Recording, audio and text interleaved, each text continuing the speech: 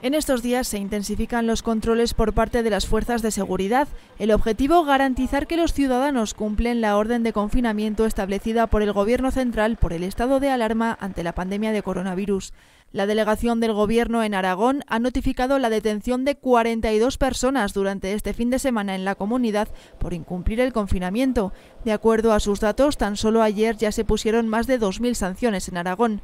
En Calamocha, tanto el domingo como este lunes, la Guardia Civil ha supervisado el tráfico de vehículos en el casco urbano y los accesos a la localidad. Según datos de este cuerpo, el pasado sábado 21 de marzo los agentes interpusieron 65 denuncias en la provincia y el domingo día 22 48. Ambas jornadas se saldaron sin detenidos en Teruel por parte de la Guardia Civil.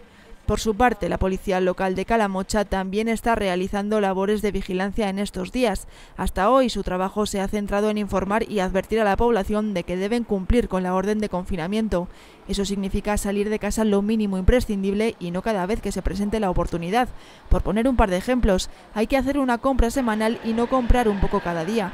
Y se puede sacar a pasear al perro, pero lo justo para que haga sus necesidades y cerca de casa, no dando un largo paseo por todo el pueblo. La policía local trabaja de forma conjunta con la Guardia Civil y no se descarta que impongan sanciones si es preciso. El simple hecho de que los ciudadanos nos quedemos en casa ya es una gran contribución para evitar que el virus se propague.